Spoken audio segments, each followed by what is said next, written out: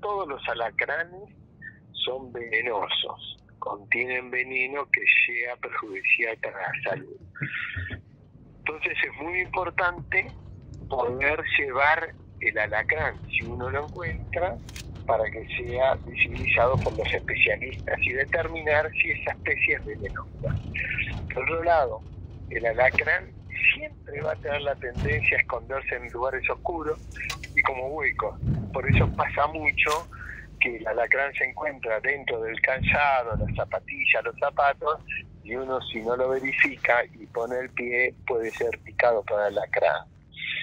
Cuando uno sufre la picadura de alacrán, realmente tiene un dolor muy intenso, como una quemazón, con un proceso inflamatorio muy agudo, muy rápido, con mucho, mucho dolor y entumecimiento. Se inflama la zona, se hincha. A esto lo primero que podemos hacer para calmarlo en el momento inmediato es ponerle hielo, es ponerle frío.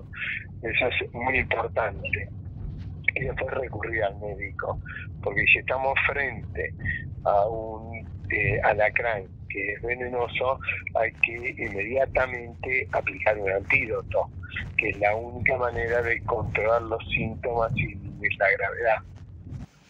Bueno, siempre en las épocas donde hay humedad o cambio de clima, el alacrán busca refugiarse en lugares oscuros, en lugares donde puede permanecer sin exposición. Por eso digo que en los huecos, en las cañerías, en los calzados, en todos esos lugares este, puede aparecer y puede haber un alacrán.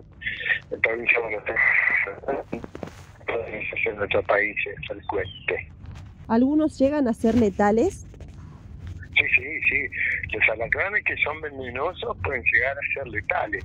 Por eso es cuestión de tiempo y es importante recurrir inmediatamente a la consulta, llevando si es posible el alacrán y cuanto antes, lógicamente, se hace tratamiento, más rápido va a evolucionar favorablemente ante la picadura, el síntoma, el primer síntoma, los síntomas de dolor, de inflamación, de quemazón, ese dolor tan agudo lo van a tener todos los alacranes.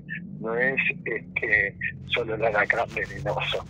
El alacrán venenoso lo que tiene es que después va a tener otros síntomas, falta de aire, taquicardia, palpitaciones, eh, muchas veces este, hasta sensaciones de malestar, de angustia, este, pero bueno, lo más importante es que el paciente empiece a hacer un shock.